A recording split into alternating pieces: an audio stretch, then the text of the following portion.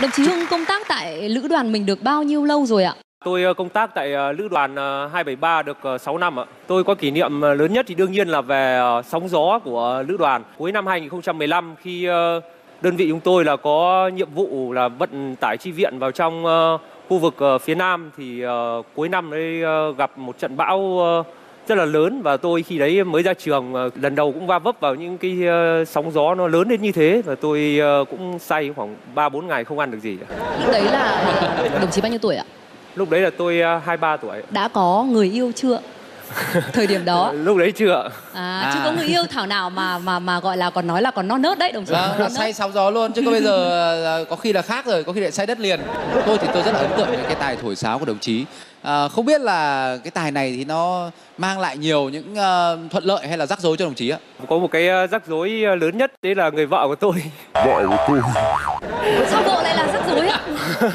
Cái này là lên sóng truyền hình, đồng chí hãy cẩn trọng kể từ đây. Vâng, tôi và vợ tôi quen nhau ờ, qua anh của vợ tôi hiện tại. Nói chuyện thì tôi cũng muốn khoe là tôi cũng biết thổi sáo thì tôi cũng gọi cho vợ tôi và tôi cũng thổi sau sau đấy sau khi nghe tôi thổi xong thì vợ tôi bảo là nhức đầu nhức đầu nhức đầu Đến thời điểm kết hôn thì là hai vợ chồng yêu nhau được bao nhiêu năm ạ? ba năm ạ Ngoài những lúc ngọt ngào ra có bao giờ trí chóe không ạ? Ủa, cái này thì rất là nhiều Vâng, và những lúc đấy là, là mình lại mang sáo ra mình thổi. Nào mà mình ghét là mình lại mang sáo ra thổi Chọc thôi. tức đúng không? Vâng. Bây giờ thì chúng tôi rất là muốn kết nối với người mà ghét tiếng sáo nhất của đồng chí. Đúng Đó rồi chính đấy ạ. là vợ của đồng chí Hưng. Vâng ạ, đây là vợ của đồng chí Hưng ạ. Dạ vâng ạ, xin chào các MC, xin chào các tiến sĩ đang có mặt tại chương trình. Yến là người phụ nữ mà gọi là ghét sáo nhất ở tỉnh Hưng Yên đấy đúng không ạ? Có lý do gì không ngoài cái việc mà chồng bạn giải thích là bạn bảo là điếc tài lắm. Dạ vâng, lý do thực sự em không thích tiếng sáo của chồng em là vì anh rất là quan tâm sáo hơn là quan tâm vợ. Và có thể lúc đầu thì thích nhưng về sau nó có một ngàn lý do để không thích. Thí dụ như là nếu anh thổi sáo mà tôi thấy hay thì các cô khác cũng thấy hay. Đúng, đúng, đúng, Ờ, ờ, anh thích thổi sáo nhưng mà anh lại không quan tâm đến tôi thế cũng là không được. Đấy, vợ phải là số 1. Ngoài ngoài cái tiếng sáo mà bạn không thích ra ấy, thì bạn có thể kể cho chúng tôi năm ưu điểm của đồng chí Hưng được không ạ? Đồng chí Hưng thì có rất là nhiều ưu điểm nhưng mà ưu điểm nhất để khiến em ờ, quyết định trở thành ờ, vợ của anh chính là anh là một người rất là chân thành. Tôi nghĩ là có sức khỏe là hai vì vừa mới xem đồng chí Hưng thể hiện thể lực ở thao trường rất tuyệt vời. Dạ, ờ, có ạ. Ba là gì ạ? Anh rất là vui tính. Vui Những cái tính. lúc mà giận dỗi nhau là anh rất là hay trêu em để cho em ờ, ừm, cười và không giận anh nữa. Bốn thì chắc là anh rất là biết quan tâm đến mọi người. À rồi. Năm ạ. Anh nấu ăn rất là ngon ạ. Ôi, Toàn diện. Ngày hôm nay thì em cũng có một điều bất ngờ dành cho anh.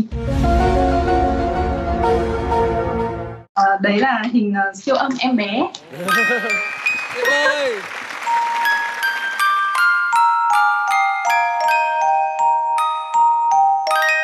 Bác sĩ có nói là em bé rất là giống bố. Ờ, đầu tiên là rất là khó khăn bởi vì là chồng đi làm xa trong khi mình đang mang bầu.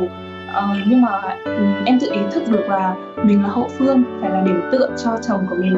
Nên là mọi khó khăn thì hai vợ chồng đều cố gắng tự bảo với nhau là cùng nhau vượt qua.